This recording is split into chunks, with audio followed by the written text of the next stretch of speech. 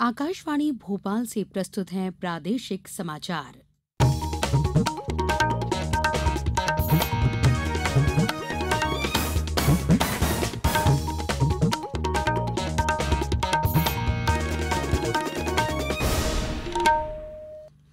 नमस्कार समाचारों के साथ मैं पूर्वा त्रिवेदी। पहले मुख्य समाचार। लोकसभा चुनाव में देश के छठे और प्रदेश के तीसरे चरण के प्रचार का आज आखिरी दिन। 12 मई को होगा मतदान। प्रदेश में भोपाल, ग्वालियर, गुना सहित आठ सीटों पर भाजपा कांग्रेस समेत विभिन्न दल प्रचार में आज झोंकेंगे ताकत। प्रशासनिक स्तर पर मतदान की तैयारियाँ पूरी। प्रदेश के मुख्य निर्वाचन पदाधिकारी आज भिंड और मुरैना में करेंगे समीक्षा। और आईपीएल क्रिकेट के दूसरे क्वालिफायर में आज दिल्ली कैपिटल्स का मुकाबला चेन्नई सुपर किंग्स से होगा। अब समाचार विस्तार से। लोकसभा चुनाव के देश के छठे और प्रदेश के तीसरे चरण का प्रचार आज शाम समाप्त हो जाएगा। इस चरण में सात राज्यों के उनसठ लोकसभा क्षेत्रों में 12 मई को वोट डाले जाएँगे। इनमें प्रदेश की आठ लोकसभा सीटें मुरैना, भिंड, ग्वालियर, गुना, सागर, विदिशा, भोपाल और राजगढ़ शामिल हैं। इस चरण के लिए प्रदेश में चुनाव प्रचार चरम पर है। दोनों प्रमुख दलों, भाजपा और कांग्रेस सहित विभिन्न दलों के नेता प्रदेश में अलग अलग जगहों पर चुनाव प्रचार कर रहे हैं। कांग्रेस अध्यक्ष राहुल गांधी ने कल सागर के बीना में चुनावी सभा की। वहीं रक्षा मंत्री निर्मला सीतारमण ने भोपाल में विभिन्न कार्यक्रमों में शिरकत की। आज भी भाजपा और कांग्रेस सहित विभिन्न दलों के नेता उन लोकसभा सीटों पर प्रचार में पूरी ताकत झोंकने वाले हैं, जहाँ 12 मई को वोट डाले जाएँगे। इस चरण में कुल 138 उम्मीदवार चुनाव मैदान में हैं। कांग्रेस अध्यक्ष राहुल गांधी ने कल सागर में कहा कि देश में बेरोजगारी 45 वर्षों में सबसे अधिक है और इसके लिए प्रधानमंत्री नरेंद्र मोदी जिम्मेदार हैं। जबकि रक्षा मंत्री निर्मला सीतारमण ने भोपाल में बताया कि लोग प्रधानमंत्री नरेंद्र मोदी पर भरोसा करते हैं और मोदी सरकार के साथ देशवासी सुरक्षित महसूस करते हैं। उधर प्रदेश भाजपा अध्यक्ष राकेश सिंह आज राजगढ़, अशोकनगर और ग्वालियर में चुनाव प्रचार करेंगे। जबकि जया प्रदा और पूर्व केंद्रीय मंत्री फग्गन सिंह कुलस्ते, विदिशा, भोपाल, गुना और भिंड में सक्रिय रहेंगे। मुख्यमंत्री कमलनाथ, वरिष्ठ नेता नवजोत सिंह सिद्धू, ज्योतिरादित्य सिंधिया और दिग्विजय सिंह भी विभिन्न स्थानों पर रैलियों में शामिल होंगे। संजीव शर्मा, आकाशवाणी समाचार, भोपाल। मुरैना से हमारे संवाददाता ने बताया है कि राजस्थान के उप मुख्यमंत्री सचिन पायलट आज मुरैना में कांग्रेस प्रत्याशी के समर्थन में सभा करेंगे। वहीं ग्वालियर में भाजपा प्रदेश अध्यक्ष राकेश सिंह, आज पार्टी प्रत्याशी विवेक शेजवलकर के समर्थन में रोड शो करेंगे। प्रदेश में जिन आठ लोकसभा क्षेत्रों के जिलों में मतदान होना है, वहाँ प्रशासनिक स्तर पर तैयारियाँ पूरी कर ली गई हैं। ग्वालियर से हमारे संवाददाता ने बताया कि आम निर्वाचन के लिए ज़िले में मतदान निष्पक्ष, शांतिपूर्ण रूप से संपन्न कराने के लिए सुरक्षा के पुख्ता प्रबंध किए गए हैं। सभी मतदान केंद्रों की सुरक्षा के लिए पर्याप्त पुलिस बल लगाया गया है। ज़िले में मतदान के लिए उपलब्ध बल के साथ कलेक्टर एवं जिला निर्वाचन अधिकारी अनुराग चौधरी, पुलिस अधीक्षक नवनीत भसीन नगर निगम आयुक्त संदीप माकिन एडिशनल एसपी पंकज पांडे ने कल 500 से अधिक सुरक्षा कर्मियों के साथ फ्लैग मार्च किया।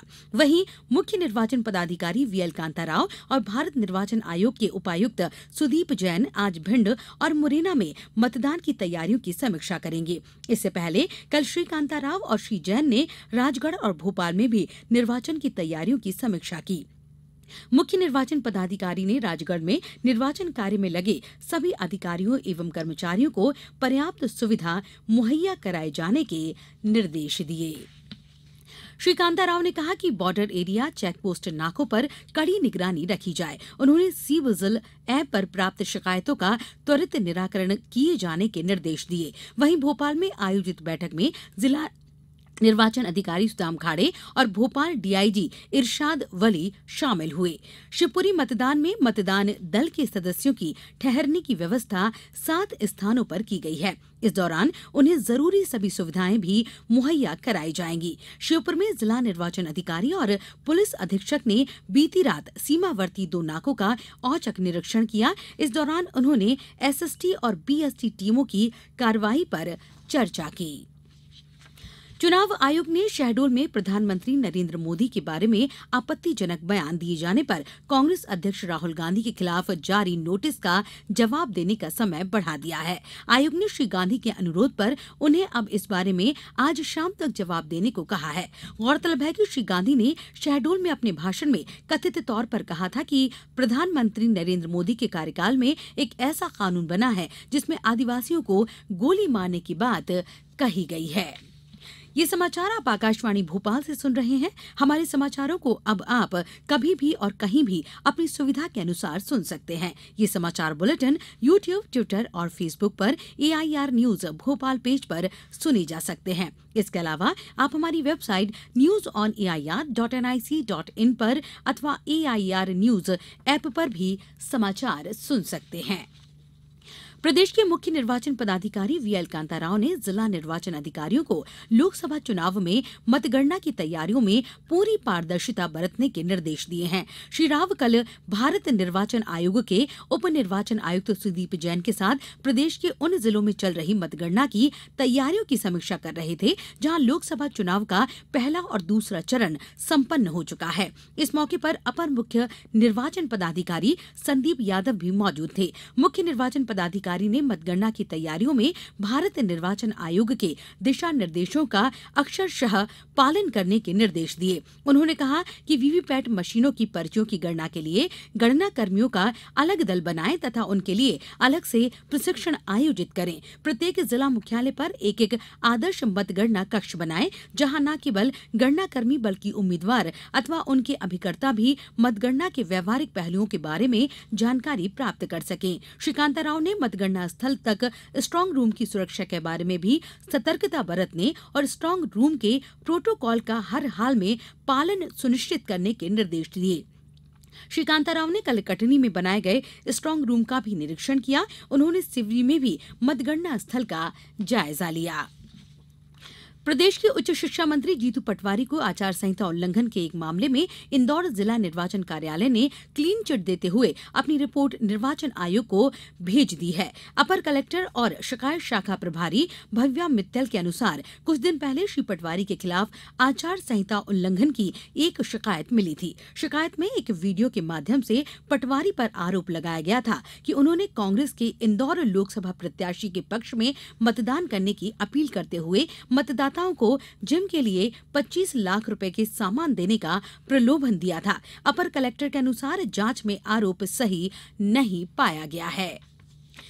संगीत के क्षेत्र में युवा प्रतिभाओं को खोजने और प्रोत्साहन के उद्देश्य से आकाशवाणी द्वारा अखिल भारतीय आकाशवाणी संगीत प्रतियोगिता का आयोजन किया जा रहा है।